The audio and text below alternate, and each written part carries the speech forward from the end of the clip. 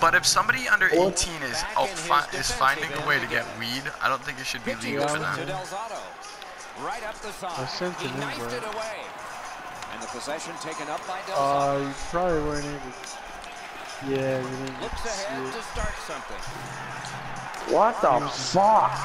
Dickie, are you Nice in this pick work out of trouble. Dickie's going to bed. I see, you're right here. You're right there. Oh my god!